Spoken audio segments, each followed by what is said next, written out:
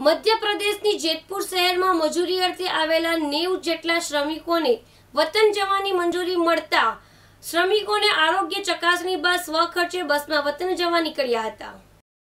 લોકડાઉનના ત્રીજા તબક્કાના બીજા દિવસે જેતપુર શહેરમાં ખેતરોમાં કે કન્સ્ટ્રક્શન સાઇટ ઉપર મજૂરી કામ કરતા મધ્યપ્રદેશના શ્રમિકો પોતાના વતનથી દૂર અહીં ફસાયા હતા. તેવા શ્રમિકોને સરકાર તરફથી વતન જવાની મંજૂરી આપવામાં આવતા શ્રમિકોને ખૂબ મોટી રાહત થઈ હતી. જેમાં આજે સવારે શહેરના ખાકમડી હનુમાન મંદિર ખાતે એકસો છ જેટલા શ્રમિકોનું પરિવાર સાથે આરોગ્ય ચકાસણી કરાવીને બસ રવાના કરવામાં આવી હતી. પોતાના વતન મધ્યપ્રદેશના જાંબુઆ જવા રવાના થતા આ મજૂરોએ મીડિયા સમક્ષ પોતાની વ્યથા ઠાલવતા જણાવ્યું હતું કે વિદેશમાં ફસાયેલા શ્રમંતોને દેશમાં પરત લાવવા માટે સરકારી ખર્ચે પ્લેન મોકલવામાં આવ્યા હતા. જ્યારે અમે તો વ્યક્તિ દીઠ ભાડું ચૂકવવાનું અને રસ્તામાં જમવા અને પાણીની વ્યવસ્થા પણ જાતે કરી. સરકારે તો અમને અહીંથી જવાની મંજૂરી આપીને તેની કોઈ જવાબદારી નિભાવી નથી. લોકડાઉનના પોણા બે મહિના જેટલા સમયથી અમારા કામ ધંધા બંધ હોય, અમોને જે કંઈ અમારી પાસે બચત હતી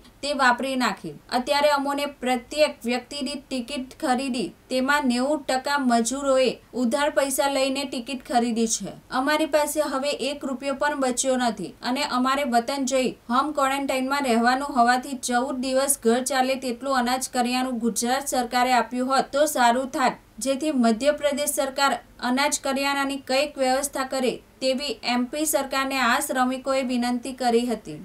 સુરેશ બાલિયા દિવ્યાંગ ન્યૂઝ જેતપુર.